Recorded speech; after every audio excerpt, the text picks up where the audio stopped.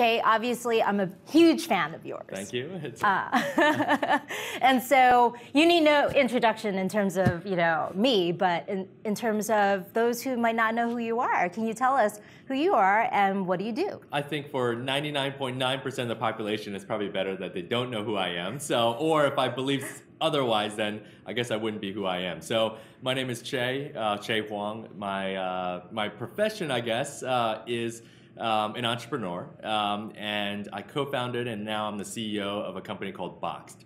And so what Boxed does is bring that wholesale experience to you and your doorstep without a membership fees, without a membership fee and generally two days or less to almost 94% of our, of our customer base throughout the continental United States.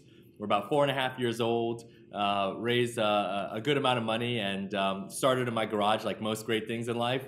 Um, and now, you know, we're spread all over the U.S. So um, I guess throughout that rise, you know, we've we've had to make decisions with people, uh, diversity, management, um, physical operations, and so it's been a pretty wild ride these last few years. It's great. I mean, your Boxed has done incredibly well in terms of growth.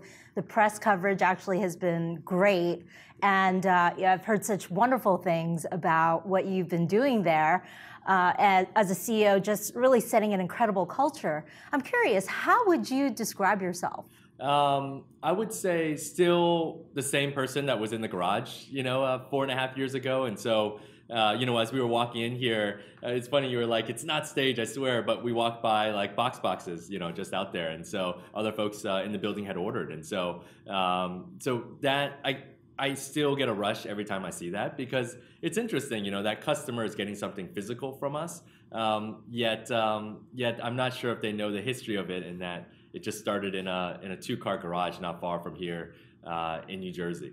Um, but going back to your original question of how I would describe myself, I would say still that humble, uh, normal person that's still adjusting to some of the attention that the company, the people, and and, and I'm getting these days. So um, I'm still getting there, but uh, i guess I'm getting a little bit more comfortable with with uh, my newfound role of not just being an entrepreneur.